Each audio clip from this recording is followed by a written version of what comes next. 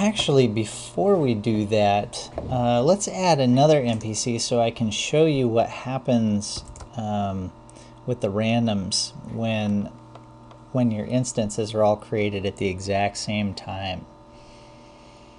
Um, I'm just going to add another one of these. Copy that. I'm going to say um, new NPC equals new NPC. Create a duplicate. Instead of princess, I'm going to try a different model here. We'll call merchant.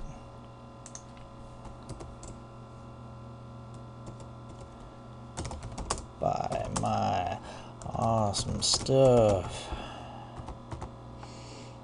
Okay, I'm going to put him at 7, 5. NPC entity model. Should be ready to go. So those are going to generate so fast that their movement timers are going to be identical. If you watch their movements here, they'll move at the at the exact same time because they're on the one second timer. They check their behavior at the same time and their random seeds are the same number. So uh, they're not very random at all. Um, because their random seeds are identical, uh, they're always going to be, you know, moving together. Of course, if they hit obstacles and stuff, then their, you know, move patterns will be upset a little bit, but they'll continue moving when they're able to. You can still see them turning and stuff. It's kind of funny. So what we want is a general purpose uh, um, global timer that we can use, or a global random, I'm sorry, not a timer, a global random that we can use just for this sort of thing. Um, then what we can do is force it to the next value in, uh, in the seed. It gives it a little more randomness, uh, which is going to be kind of nice. So it'll force each instance to the next value in the seed, sorry. Uh, let's see, gonna start out in, um, I need to go to my globals. And this is where I will create a new random. So I'm just going to call it um, public shared game randomizer as random. Okay.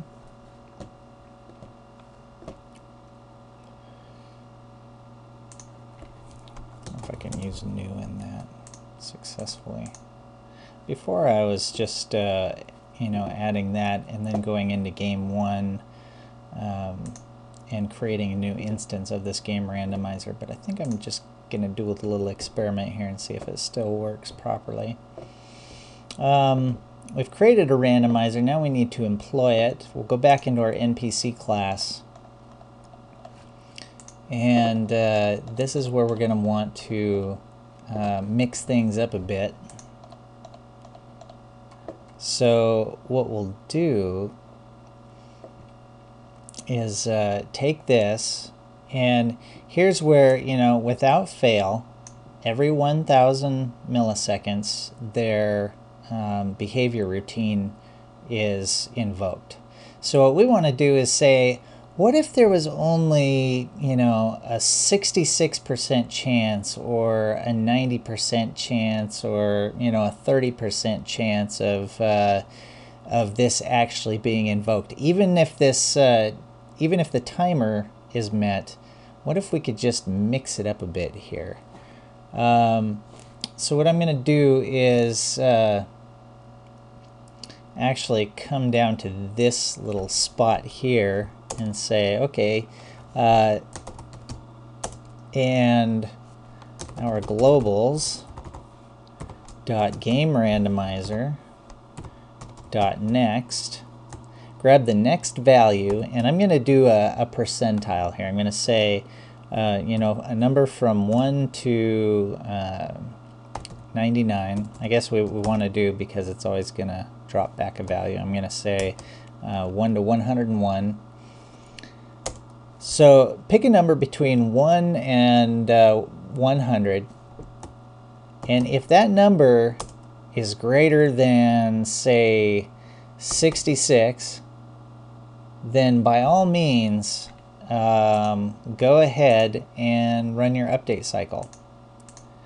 So each one of them is going to be looking at the same uh, random seed, but it's being forced to the next value. So even if one, uh, you know, the first one will get, get one number, and then the next NPC, as it's running through its update sub, uh, will be forced to the next number. So they'll never be exactly the same unless the next value is exactly the same, which can happen. You know, you can you can roll 75 twice out of 100. But let's just see what their behavior is like now. I can already see the princess is moving independently of the merchant. Um, so this is saying, you know, not only are they forced to grab a new random, but there's also only a 33% chance that this uh, 1000 millisecond timer is even going to launch this uh, routine over here. So it's really, just by adding this, we've really shaken, shaken things up a bit and randomized it a lot. So not only does the timer have to expire, but uh, it has to, this random number, if it is, you know, less than 66, it's uh, not even to fire. So uh, it forces these two to move independently of each other for one and randomizes things a great deal for another. Now we could uh, take this timer here, set that down to say 100 milliseconds and I guarantee you this is going to hit a lot more often, but they're still going to be very randomized. So they should still be quite independent of each other.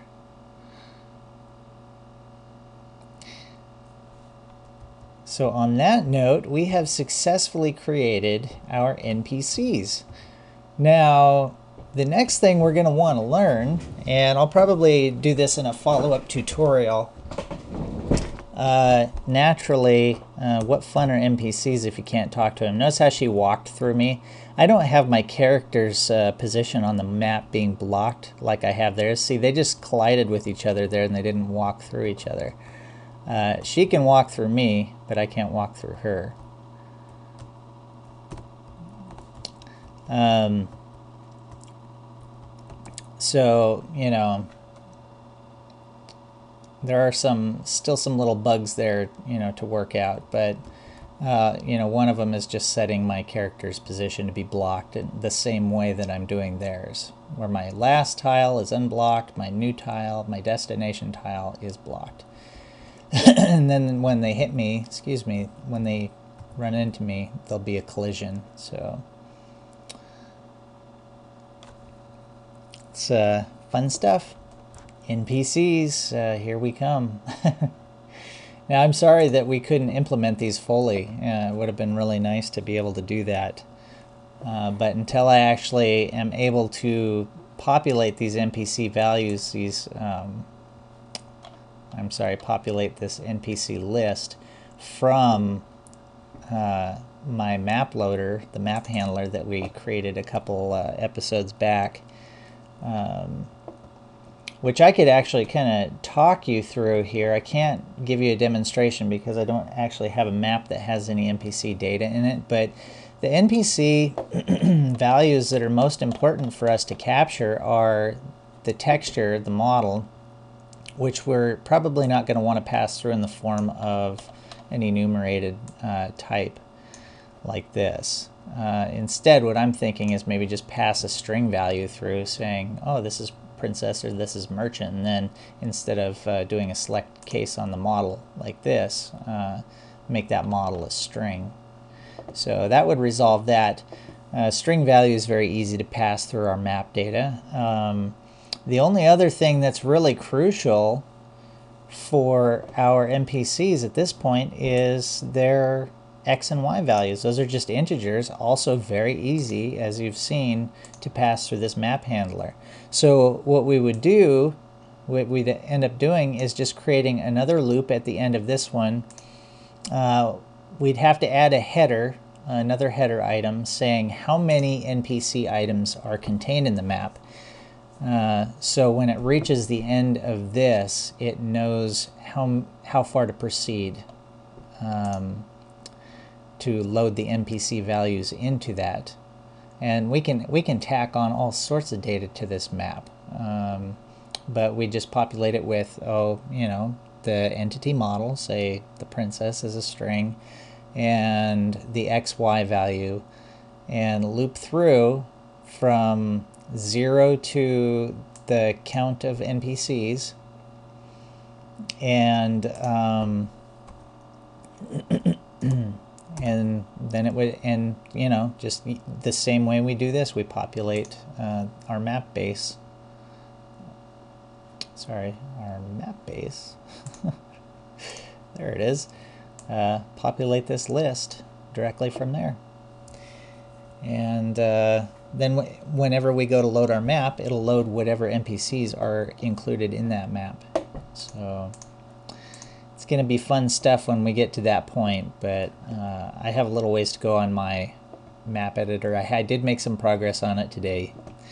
Um, I'm happy to announce that, but I still have a lot of work. I'm just trying to get it to where I can add some NPC models and stuff. But anyway, I appreciate you all uh, coming along for the ride. It's been a lot of fun. I hope that this has been helpful to you, even uh, if it's not a full implementation. I know you you know there's a lot of smart people out there um, that, and I hope you guys are doing a little experimentation of your own. You know, from all these tutorials that you've been watching. Uh, you know, don't be afraid to to hack your projects apart and try adding new things on your own. Try, uh, you know, come if you have an idea, just try to do it and see where it takes you. Uh, that's exactly how I've been learning this stuff. Um, you know, I just be like, hmm, how do I create an NPC? I have no idea. So I just started hacking hacking away at it, and you know, at long last, I finally came up with a solution. But try stuff like that. Get out there, you know, with your maps and your little games, and see what you can do. And if you get hung up, you know, just make a backup of your project if you're worried about losing it. But, uh, you know, of course, you always have my source code that you can play with as well. And again, I will include um, this on the tutorial. Eventually, it takes me a little while to get everything all put together and uploaded to my website, but you should be able to download that. Anywho, I wish you all luck on your projects. Thanks for uh, watching uh, if you think that this will help anyone else that you know, feel free to pass it along to them. I always appreciate more views. It's what YouTube's all about, right? Ah. um, uh, anyway, I, I appreciate it. Thanks for watching. Bye-bye.